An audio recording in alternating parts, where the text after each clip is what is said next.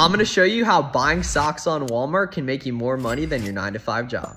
These socks are on Walmart for only $8 on clearance. But over on Amazon, I saw they're selling for $20 and have tons of reviews, so we know these sell. After shipping, Amazon fees, and the product cost, SellerAmp shows that leaves $5 profit per sale, a 60% ROI, and this listing sells 200 times per month. Now to sell these on Amazon FBA, I just order them from the retailer, then ship them off in bulk to the Amazon FBA warehouse. This is not Amazon private label or wholesale, which are way too capital intensive, expensive, and time for beginners. I just work from home and do online arbitrage where I find profitable name brand products with proven sales history from big retailers like Walmart, Nike, and Target, then ship them off to Amazon and they handle the rest.